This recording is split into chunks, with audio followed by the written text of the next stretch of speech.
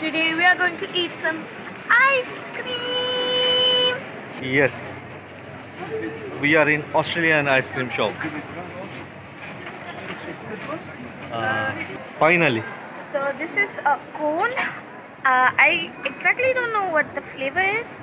It's chocolate and something maybe like mango or vanilla. I don't know.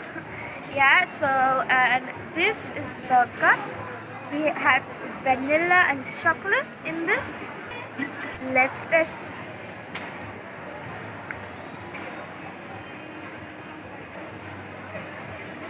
Can you finish finish it?